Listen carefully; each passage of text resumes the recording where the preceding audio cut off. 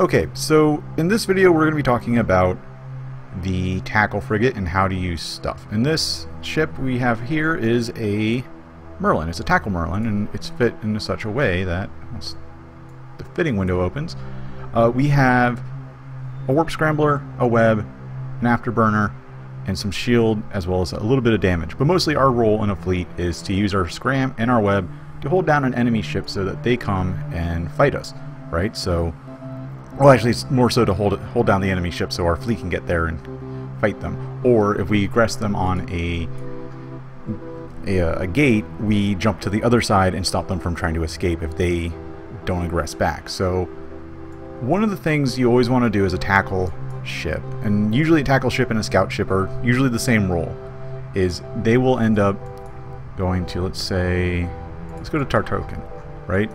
Usually on a on a fleet, the scout will always go one, one system ahead, more or less.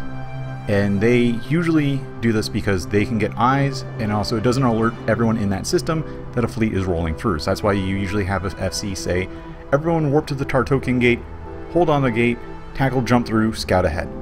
That way no one in that system knows that there's people in, you know, Anon in this case, about to jump into Tartoken. However, if they have eyes, like if they're a Cloaky perched above the gate or whatever in nullsec, they'll know. Or if they have intel channels, like many nullsec groups have, they'll know. Uh, so it's usually still a better practice to send one ship ahead. That way, if there's a bunch of dudes on the other side, you only lose one ship rather than you lose the whole fleet. So let's imagine that this is the battlefield that we're on. We're going to turn on our tactical overlay. So we see all the different stuff. And if you hadn't seen this before, it's this little button here. It's a tactical overlay. It lets you see the ranges of all your modules. So if I hover over my high slot modules, which are my neutron blasters, you see this circle. The outer circle is the, the maximum range. The inner circle is the optimized range. We do that for our scrams, and we can do that for our web.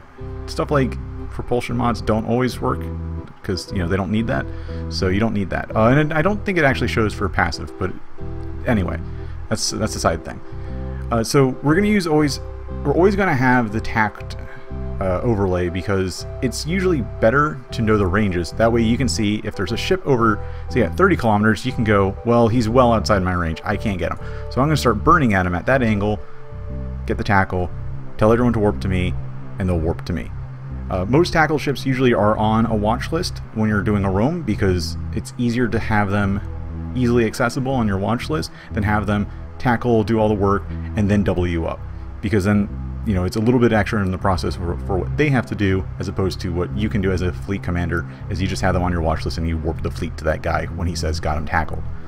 So that's one thing to worry about when you're a tackle ship and also as a scout ship. It's always make sure you're on the watch list, especially a Logi watch list. That way when the Logi land, they can help you out. They can start locking up as soon as they land and give you the reps that you badly need because tackle ships typically die, especially T1 tackle ships because, you know, they're weak, they're paper thin, uh, but they have a really important role, and it's also a really good role to put a new player in. Uh, and a lot of examples throughout EVE's history show that new players and this simple tackle Merlin or a Rifter or whatever can do a lot of good for their fleet and still not really, and like, you know, they're not really comprehending what they've done. But if they can get that tackle or that web off, they can get uh, like, you know, a couple hundred million ISK T3 st uh, strategic cruiser and their fleet's really happy. And in some cases, you'll be showered with this because you're an adorable newbie who just got an awesome kill. So when you're scouting, you always want to scout ahead. Uh, and you always go one system ahead. So you usually jump before the FC tells you uh, and the rest of the fleet to jump. You usually go up ahead by one system just because it's a good practice to have, like I said a little bit earlier. So in this system, we see we have three neutrals. None of them are friendly. So we tell the FC, Tartoken has three neutrals, no friendlies or you know just three neutrals or sometimes you say three you know infidels or whatever. It's whatever you know term you want to call anyone who's not blue to you. Uh, and then you say there are stations. That means most likely these guys are docked up. Very very likely that these guys are docked up just by guessing because we have one two three four we have five stations. So it's very likely that all three of them are docked up. Maybe one of them just left because you know whatever. Uh, and so then you then go okay next you know, next uh, gate is Serenin, so we're going to warp to at zero. Uh, most of the time, you want to have pings, which are what we went over once before. I don't know if anyone saw it, but we'll go over it in this video as well. So a ping is basically anywhere that's around a gate or a celestial object like a station or a planet or mostly it's just gates and uh, stations but you can have it around like posses or whatever uh, it's something that's at least 150 kilometers away because 150 kilometers is the minimum distance you want to have or you can have between two objects to be able to activate your warp drive so in this case we're going to use our afterburner we're going to burn a 150 km ping above the Saranin Gate in Tartoken and typically you can have it in either your corp bookmarks, but sometimes it's good to have it in your personal bookmarks. That way, uh, you know, if there's an AWACS or anything like that, they can't warp to you or the rest of the fleet. Uh, and when you're in nullsec, you always want to use pings because there's usually bubbles on a gate, unless you're an interceptor. If you're an interceptor and you're scouting and you're doing tackle, you're just going to blast right through the bubbles. But if there are bubbles, you always want to tell your FC, bubbles on the gate, setting up a ping. That way the fleet can warp to you, and then they can warp down and bypass the bubble. So we are 36 kilometers away, but uh, with that, if anyone on Mumble wants to ask a question, go right ahead. Just know that you're going to be recorded and be in the end video. So if anyone has any questions right now, shoot. All right, Boy. there you go. Now I hear you. Now you hear me? Yes, so you had a question. Yeah, I had a question. What is it? Okay, um, is there any specific order in which you actually relay this information? Um, usually it's just on whatever you see or whatever the FC really wants to know. So uh, usually it's number of hostiles in system, how many, uh, you don't always need to tell the stations, but just say like, you know, there's stations in system. So you don't need to tell the number of stations to say like 15, you know, five hostiles in station, five, or sorry, five, uh, you know, hostile enemies in system, five stations. That's all you need to do. Or you just say there's stations. It doesn't matter the number. Because if there's a station, it's likely that they're docked up. Um, the other ideal is you have information such as the bubbles, you always want to tell that. Like, as soon as you see the bubbles, you say, bubbles on X gate. So, like, in this situation, bubbles on Saranin gate, or bubbles on Anon gate, that sort of thing. Um, and we have our thing, so we're going to okay. hit Control B. We're going to set up our safe, so we're going to do one, let's do 160 km Saranin top. So now we have this little bookmark. It's a personal bookmark because it doesn't have a little like star above it. Um, and also because I also set it to my personal bookmarks. But so now we have all that. So we can also warp down to the Saranin gate. So then if we set up that ping, warp, fleet warps to the ping, we warp down, we jump through. Fleet waits, warps down to the gate, they jump through. So we're going to warp down. And we're going to jump through. And we just saw one or two people jump into local, which is kind of good, but not too worrying. So now that we're in Saranin, we go, okay, 47 in local, uh, and then if you just do a quick scroll, you're like, ah, they're mostly all, you just say mostly all friendly, and then you're good. Uh, you can also say how many are neutral. The problem with the local chat, and something you always want to keep an eye on, is the number in local chat in case local spikes, which means a lot of people just jump into local uh, which usually indicates either a fleet or a gang rolling through. Uh, the problem with local chat is you can't filter by standings, so we can't make it so all the neutrals are at the top and only the corp members are at the bottom. So there's that. Uh, the one thing we also want to keep in mind of is if we do a D-scan, which most people should know how to use their D-scan, if not, it's no problem. We do a D-scan, we're using our overview, which means we're having all our PvP stuff, so we can control C this right? And if I open up the PL or a dashboard or whatever uh, DScan tool there is, you can then relay that DScan information to your FC. So in this case, we're using the PL one, which is this link right here. We then do a DScan, max range, we see all the stuff that's there, right? We can control C, control V.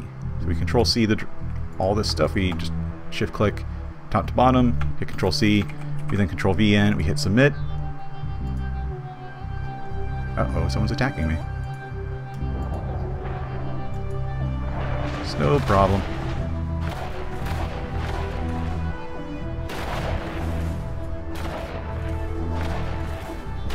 Oh.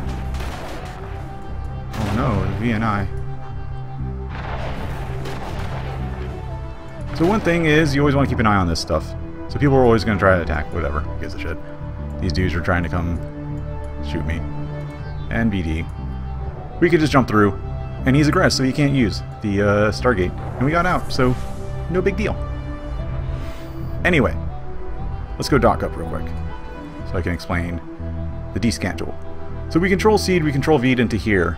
And we see all the stuff in system, we can see what's on grid. Well, there was two Gallente mining stations because we're using a setting that doesn't just show ships. Uh, if you're using the Sarashaw overview pack and you use ships only, it'll look a lot different. But if we use the normal PvP, it'll show stuff like gates, stations, that sort of thing. So anyway, DScan tool tells you the types of ships that are in uh, that system that's on your DScan range. So in this case, we saw a capsule, a cruiser, and a logistics ship, and they're all subcapitals. If there were capital ships, it would show a little bit lower. Uh, and it would also tell you anything about those. So like we picked up a T2 logistics ship and we also picked up a T1 logistics ship. Uh, this sort of stuff, you always want to just hit Control C at the very top once you generate the link. And then uh, hit Control V in fleet. That way your FC can open it up, see what's there, and then they can determine, can we take this on? Do we have the people to take it on? What's likely to be the outcome?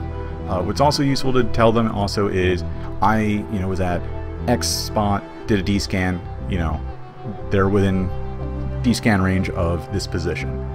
Uh, and good tackles will also be able to use uh, grid foo and D-scan foo, which basically lets them figure out where the fleet is and chase them down. Uh, that's a little bit more advanced, but as a just general roaming through low-sec situation, that's something, you know, that basic understanding of how the D-scan tool works is really important to have. Uh, it's also good to check out uh, um, the different faction warfare complexes in low-sec and faction warfare space, specifically faction warfare space, uh, that your entire fleet can fit in. So if like you're in all in Caracals or whatever, and you're in a Merlin, you can't get into certain faction warfare complexes because of the restriction sizes. I believe Merlins can only can go into all of them, but Caracals can only go into mediums or larges. I might be a bit wrong about the mediums. I know larges are fine, uh, and so that's how you handle the D-scan tool. Is there any other questions about how to do some of this stuff? Yes, Sasuke, another question. Sure, go ahead. Um, if there's uh, lots of stuff on the gate, for example, and you jump in, do you actually um, group ships? I mean, like you say, like there's 15 caracal, or you just say it's like 15 cruisers, about 20 frigates, uh, you want to tell them the, the majority of the ships they have. So if there's a bunch of dudes, say like, uh, let's go back to the Annan Gate, right? Just for whatever reason. Annan Gate for fun. Right? Say we jump into Annan and there's like a fleet of 50 people. And you see all of them on, just sitting on the gate. And your guys are on the other side. They're in Tartoken sitting on the Annan Gate. The guys are in Annan. The other fleet's in Annan sitting on the Tartoken Gate. Uh, what you do is you just do ship type, and then you just tell them, all right, there's about, you know, just do a quick number, like, oh, there's probably about, like, there's about 10, 15 caracals, 15, or like 5 or 10 uh, scythes, just a bunch of tackle frigs. Tell them the majority of, tell them the, the closest number you can of the majority of their ships. That way the FC knows mostly what they need to worry about. If it's a lot of Caracals, they know, alright, well, that's Caracals. That's good. We know that they're flying shield ships and they have shield logi. That means they're most likely flying scythes or scimitars. That's fine for us. We can take out, we can focus on those or their tackle ships, while our, you know, scythes and scimitars try to defend themselves and defend us with their uh, logistics reps. So in this situation, say you see all the dudes here and you're like, oh shit, oh shit. You just do what I did to that Vexor. Uh, you just approach the gate, turn your AB on, and once you get within around, let's say, 20, I think it's believe, I believe it's uh, 2,500 uh, meters, you just right click jump, or if you say you get within like six or uh, 7,000 meters, you just hit jump and you'll automatically jump through. The nice thing about the mechanics of the game is because the way that Vexor did it, he aggressed me. I didn't aggress him, right? That means I could have jumped out anytime I wanted to, and I did. He couldn't follow me. Meaning if they're all on the other side and they try to jump into us, you know, and they aggress our tackle frigate that gets the scout ahead, that means they're all aggress, meaning they can't jump into our fleet. That means our fleet has to jump into them or wait for them to jump into us after their timer goes down. The one good thing you always want to do as a tackle frigate, and this is something you always want to do, say That same situation happened. We jumped into Annan. There's a bunch of dudes on Annan. They saw me. I, I burnt back for the gate, survived. They jumped back in. Our fleet's sitting on the Annan Gate and Tartoken. Brawler ups, right? The one thing you want to do as a tackle frig, and FCs will usually call us out, because usually you want to get two, maybe three tackle guys in Annan on the Tartoken Gate. So basically, cross jump uh, the enemy fleet that jumped into your fleet. That way, if they try to jump back into Annan, you can then catch any stragglers or people trying to run away as a tackle frig, and that way they're doomed. That means even if they escape the fight or they're trying to leave the fight, your dudes can jump back in after a couple seconds, come save you, and that will uh, help you decimate their fleet a little bit more. Anyone have any other questions?